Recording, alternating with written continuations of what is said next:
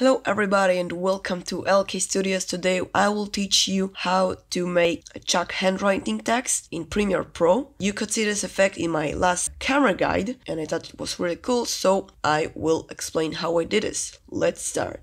Alright, here we in Premiere Pro. First of all you need to find background image of a chalkboard I found this image on Unsplash. This is a free reality then what we're gonna do is hit T on our keyboard or go to this uh, type tool. Let's hit T and type whatever text you want. I will type cool text.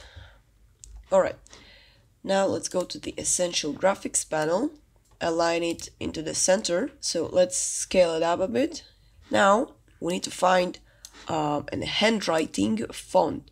It's called C. I don't know how to pronounce that, but this one. It's not looking very good right now, but we will fix that. Let's go to the effects panel, search for the rough, roughen edges effect, drag it into our cool text, and you can see it's right here. Everything under this effect will be affected by it. Right, so there's three main effects that we'll, will play with. Um, first is the border, the scale, and the complexity. First you need to set the scale to 10, so it's very small. Then you increase the border and you can see how cool it looks here. Already looks like a chalk.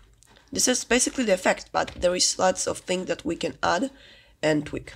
Then you can choose between 3 and 2 It's a bit more, it will be a bit more realistic, so choose uh, whatever you want. Then to actually animate this text, you go under the evolution options, and here you can see the random seed. So you hit the stopwatch, go to the end of your timeline, and choose whatever um, seed you want. If the seed is high, the animation going to be quick.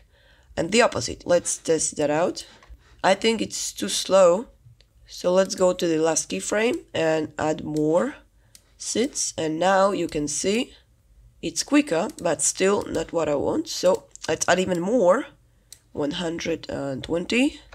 This is already looking pretty good, but let's add even a bit more. And I think it's look very cool. This is kind of oldie tutorial. I just want to show you the, the point that you can uh, just change anything, just add text um, hello and just bring it under the roughen edges. You can't see this because the border is too high, so lower the border and now and now you can see it's affect the hello but the cool text affected less because it's bigger.